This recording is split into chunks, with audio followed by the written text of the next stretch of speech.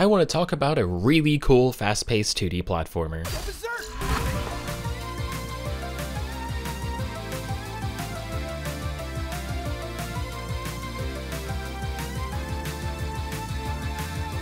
So I just tried out the short but sweet demo for Berserk Boy, a game by the creatively named Berserk Boy Games and published by Big Sugar.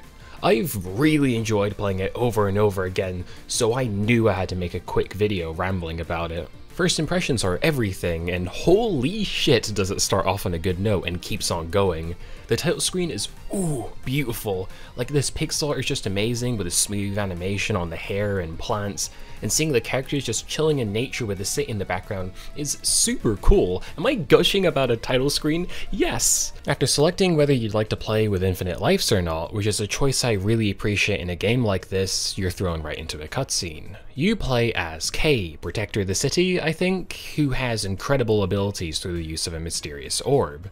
Unfortunately, he loses control of his emotions, and since the orb reacts to it, his powers too.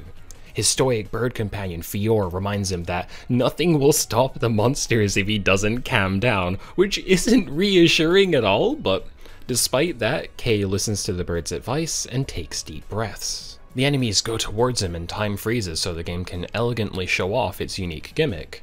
Kei has the ability to swap forms. You only start off with one, though you do unlock another later on.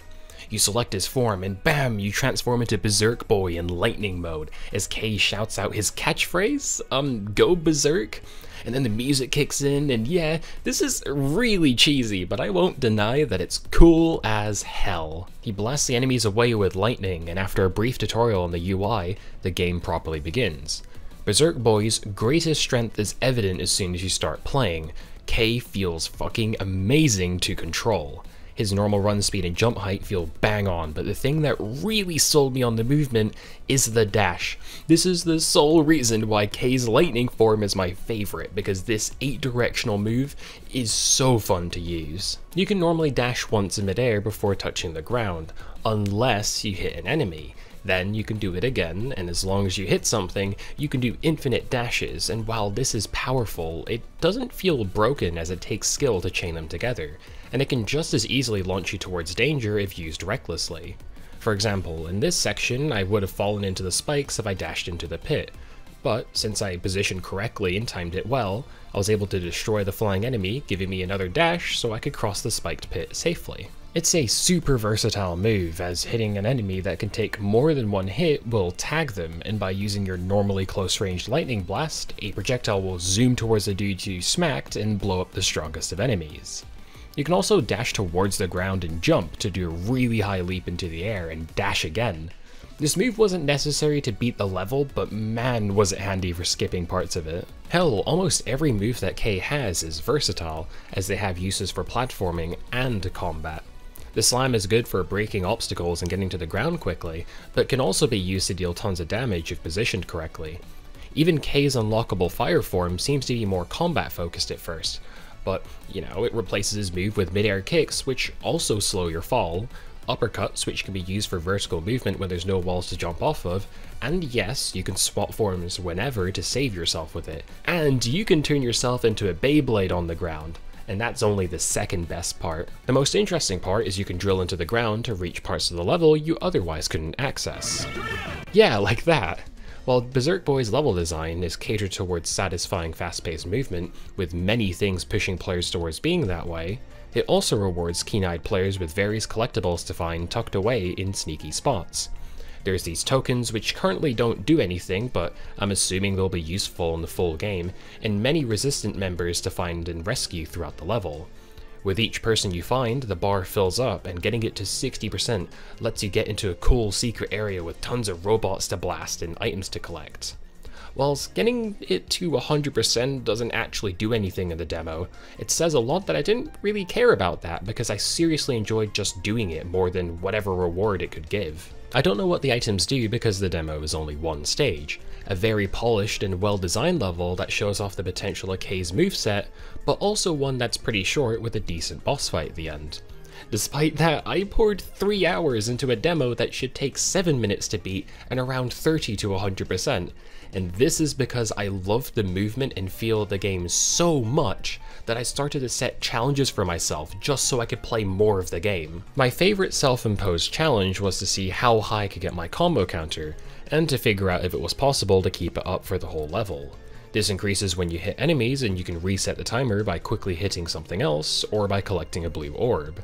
While combos don't really do anything, they're fantastic at motivating the player to play well and as fast as possible, because it's a wonder what seeing a number going up can do to monkey brain players like me. And I'm going to assume that it works as a good motivator for the level designer too. I know this sounds a bit strange, but combos finish in 4 seconds if you don't do anything, so they now have a good reason and reminder during testing to make sure the player has something exciting to do in less than 4 seconds for almost the whole level, meaning that they have to be jam-packed with enemies and collectibles to allow players to get a high combo count, which makes the levels feel way more alive, which just makes the game way more fun. The highest combo I got was 52, as it's extremely difficult to keep a combo past that point, and personally I'd really like it if it was possible to keep your combo until the end, because I loved trying to do it and it might make for a fun optional challenge. It does have a ranking system that could achieve the same motivating effects, but it's far too easy to get an S rank for it to feel rewarding.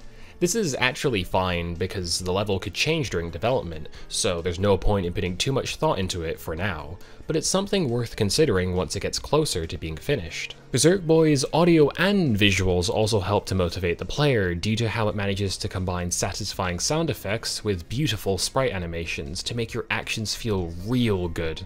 Like, the game looks great when standing still with its clean UI, nice backgrounds, and New Hope City is made interesting with the many, like, futuristic decorations and architecture seen throughout the level. Where I think the game looks top notch is through the flashy as hell animations, and since you're always moving, it always looks amazing. Like, they could have made the dash look just good with Kei doing that pose with his fist forward, but no, when you hit the button, there's an explosion of color, a cool purple trail, and when you hit an enemy, there's sparks of energy flying off, explosions, robot bits flying into the distance, holy shit!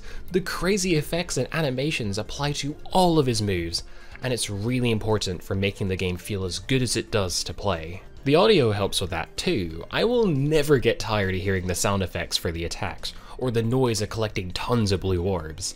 The voice actor for Kei did a pretty good job too.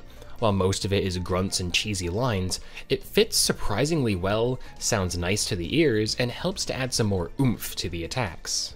And on top of all of that, you got some high energy bangers by Tee Lopes playing in the background. I audibly went, oh shit, when I found out he was helping out with the game. I loved his work on Sonic Mania's soundtrack, so I'm genuinely excited to hear more tunes once the game fully releases. Also, getting to hear little snippets of new songs in the previews posted on Twitter is such a tease.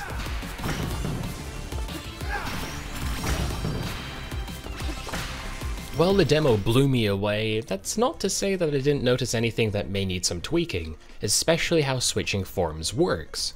Currently, you hit Y, the game pauses, and then you use the D-pad to select a form from the wheel, then hit A. After a cool little animation, the game unpauses and you can move again. This is fine, but I feel like things could be streamlined a bit.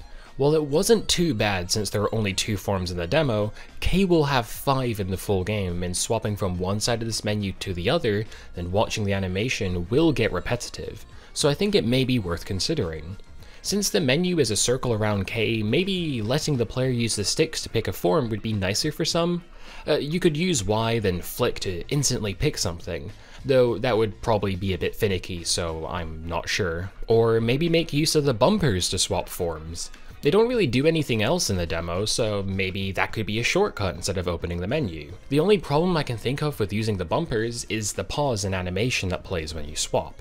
I do really like how cool it looks, but I think the time it takes to swap pushes players away from doing it and taking full advantage of Kei's moveset. For example, there are enemies that can take multiple hits from the lightning form that can be one-shot by the fire mode's uppercut. Now, Lightning is the king of mobility so far, due to the dash and big jump, so it's probably the one that you'll be using the most. I would want to swap to the uppercut, but the issue is it takes 3 to 4 seconds to do that. If I swap, uppercut, then swap back, that's going to take 5 to 7 seconds of just swapping.